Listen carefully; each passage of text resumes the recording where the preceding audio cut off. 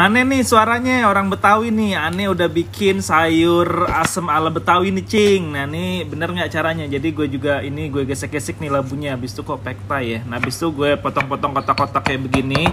Nah, ini bumbu halusnya udah gue ulek-ulek dan ditumis sampai dengan wangi dan sampai dengan matang. Lalu ini gue udah gue rebus dagingnya selama satu jam ya. Gue di sini pakai daging iga. Mau diganti pakai tetelan juga bisa. Jadi semuanya dimasukin Nah itu labu kalau udah mateng dan nangka juga udah mateng juga masukin semuanya. Terus ini udah kacang panjang juga aneh masukin nih cing. Nah habis itu ini daun so aneh masukin ya kan masak sebentar aja. Habis itu udah deh matiin apinya.